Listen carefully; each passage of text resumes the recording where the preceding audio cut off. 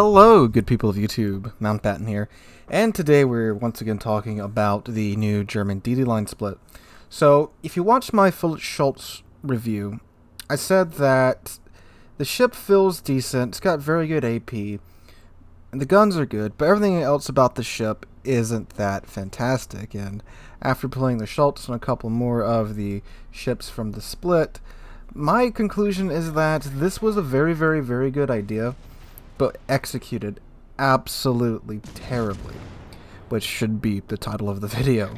So, basically, the German DDs, if you don't know, the new split, they were designed to be not destroyers, but rather either very large destroyers or small light cruisers.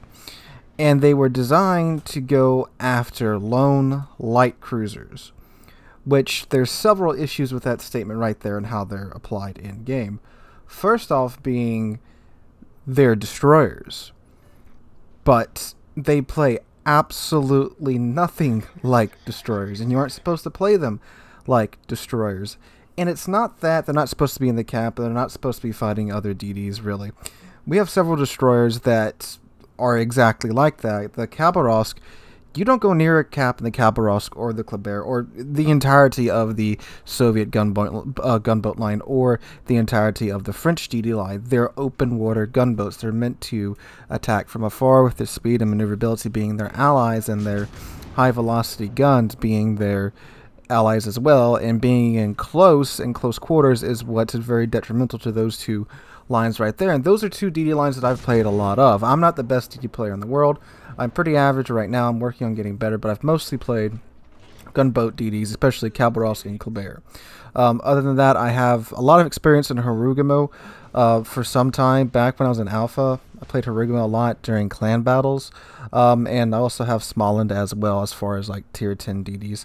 Other than that, I do play uh, Cossack and Orkin and Kidd a bit too, but as you as you can see, I'm not a DD main, obviously but that kind of lends itself pretty well to the DD split here because you don't play them like cruisers and they need to be stopped being thought of as destroyers. But like, you do, you do play them like cruisers, you don't play them like destroyers.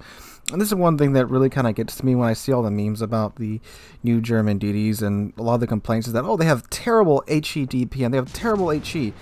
Yes, they're supposed to. You use the AP and forget the HE exists unless you're in a situation where you simply can't get pins or overpins. Then you switch to the HE, and that's in like worst case scenarios. Like if you have a bow tanking BB, you can't manage to arc your shells behind his turrets and pin his superstructures for his superstructure for 2k a salvo. Then you switch to HE and try to start a fire. Forget these things have HE unless you're in that specific circumstance. So they're DDs, but they can't do DD things. And the other DD lines that don't do DD things but are still good DDs, you know, they have good HEDP and they have good AP DPM as well, and they have other characteristics to make up for that, but they're still in that DD slot. But they can still fulfill the role of hunting down enemy destroyers. These German destroyers can't really. Yes, they can kill other destroyers, because their AP is that good. You'll be chunking DDs for like 2 or 3k a salvo. So as long as you keep on them, you can kill DDs, but it's not their speciality. They're not too, too good at it. And you will lose most of your health in the process, especially if it is another gunboat DD, or heck, something like the Shimakaze that has very nice HE alpha. They'll make you pay for taking them down, which isn't ideal. In a DD versus DD engagement, you want to kill that DD while losing the least amount of health from your DD. That's where the Kleber and Khabarovsk shine. The Khabarovsk has some good armor plating, and it has a heal. The Kleber has that special French DD uh, saturation where they effectively pretty much take half the amount of damage that a normal DD would in that situation. The German destroyers get neither of that. They get a slightly thicker armor plating, they have 25 millimeter belt instead of a 19 millimeter uh, belt, and that's it. They don't get a heal, and they don't get a special damage saturation model. You can get a heal if you have Lütjens, but of course, unless you spent the coal to get Lütjens, you don't have Lütjens. And even then, it's you know it's not a great heal, but it is a heal. But that's just versus DDs. Now remember what I said earlier. These are DDs that are meant to go after light cruisers. Light cruisers are meant to slaughter DDs. And especially when we're talking about higher tier light cruisers like the Smolensk, the Austin, the Worcester, the Minotaur, all of these ships are specially designed to murder DDs. And many of them can do it in just a few seconds. And you're telling these DDs to go kill those light cruisers by themselves with no heal and no special damage saturation model. Okay, that doesn't work, I can tell you that. And matter of fact, this game you're watching right now, I got to attack the highest number of light cruisers that I ever have while playing one of these German DDs, this time in the Felix Schultz. I got to attack two light cruisers. And yes, the shells were very good at doing that. The AP was very good at doing that. Um, I chunked the, I think the the uh, the Atlanta for like 6k in one salvo. Which I mean, it's, it's an Atlanta, not the most heavily armored light cruiser, but yeah, it was pretty good at doing it. And then I got the other. I can't remember if it was the. Was it the Edinburgh or was it the? Um, I think it was one of the American cruisers. I got him and I hit him quite a few times for about four to five k, which is again very good for AP coming out of a DD. So they can do the damage and they can Citadel light cruisers when presented with their broadside, but they're still light cruisers that will murder you if you're spotted.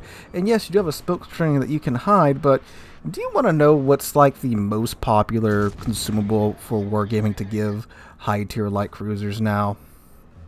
If you guess radar, you're correct. so, yeah, I mean, I do have a 15 kilometer range on my Schultz right now, so that does help. But, I mean, still, you're engaging a light cruiser by yourself, so that, that doesn't work. What you have to do is kind of what I'm doing here. I'm sticking near the team and kind of just chilling with them and going with them and basically acting like a cruiser, which is how you kind of have to play the Schultz and the, the German DDs. Okay, so that that's the main thing, but that my main problem with them. They're meant to go after cruisers, but they can't really do that. The other thing is that, as many of y'all brought up, they do still take up a DD slot. So this is a DD that can't do DD versus DD. They can't cap. They're not the best spotters either because they really have to roll with the team to avoid being crapped on by light cruisers. So they don't spot, they don't take out DDs, but they kill cruisers. That that's like the battleships and cruisers' job. That's not a destroyer's job, but they're still in the DD spot. So you're still taking up that spot on your team. Now, of course, they can cap. It's just that they're not the best at it because when they get into those close range engagements with the other DDs, you kind of die very fast. So that's another issue. Uh, the last issue is that, quite simply, they're very meticulous to play, which isn't necessarily a bad thing.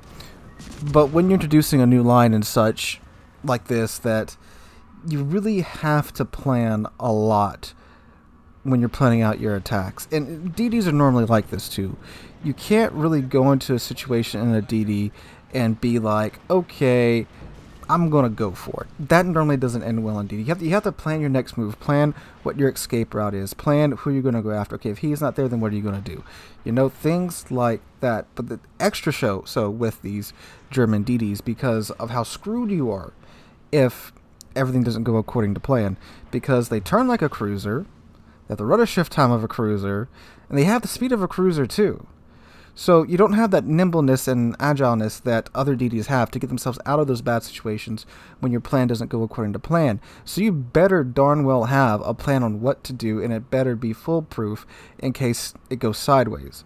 Because if not, you're going to be standing there out in the open with a very large DD that's just going to get dunked on by almost anything. Um, other things from playing these cruisers, uh, yeah, these cruisers, these destroyers, I didn't notice this in my initial review, but they have, like, the Schultz has a 7 kilometer AA range, which I thought was a no-no from Wargaming now because of how you can trap planes with the good old AA trap method, and that wasn't cool anymore. But then they turn around and give the Schultz a 7 kilometer AA range and DFAA. So, oddly enough, they are pretty good with dealing with CVs. I mean, of course, you know, depending upon the skill of the CV player, but as the guy you're seeing right now is, is, going, is going to find out, it's it's not a wise thing to go after one of these ships because you turn your A off, your detection range is four kilometers by air, so they're already three kilometers within your A bubble. Then you pop it and you pop DFAA, and mm, it's, it's not going to be a wonderful day for him if he's not good at dodging flak. So they have that going for it, which I find odd, but I mean, okay, you want to give them decent AA. Again, I'm not saying this god tier AA. I'm just saying you can kind of do the AA trap, and it kind of works. I mean, this match alone, I, saw, I shot down a fair few amount of planes as well. Um, other than that, too, the turret traverse isn't that great either. Which, again, with the 150 millimeter guns on the DD, that's kind of expected. And the Kleber and Khaba also aren't breaking any speed records on their turret traverse either. So they're a very weird ship that again the idea of having a destroyer that's good at dealing with cruisers is a good idea. I like that. That the, the great AP, the improved AP pens, the approved AP. That's fantastic. And having the bad HE, that's great too. I mentioned something like this quite some time ago, except in a cruiser class that, you know, it just focused on having great AP. I think I guess we did get the Soviet cruiser, so there goes that. But still expecting them to go after cruisers with not that great of an, an improvement in their armor, without a, an improved damage saturation model, or without just a heal, I don't know how they're expected to take on cruisers. You can't ambush them, but still, even then, in most light cruisers, their their turret traverse time is pretty insignificant, so they're going to just, you know, melt half of your health away anyway. You know, you can get a jump on them with the torpedoes, which from a close range, they're, they're slow, but I mean, shoving all your torpedoes into a, a cruiser's broadside at close range really doesn't matter how slow or how fast your torpedoes are, you're going to die.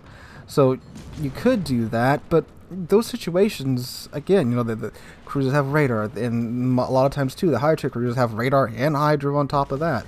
So if it's a decent cruiser player, you aren't going to be catching them off guard that much. And then now you're in a situation where it's you versus a, a cruiser, and you're not really that well equipped to deal with it. So still, like I said in my Schultz review, that they definitely need a hill or some improved damage saturation model, and then I think they will be a great class all in all. But still, great idea, terrible execution.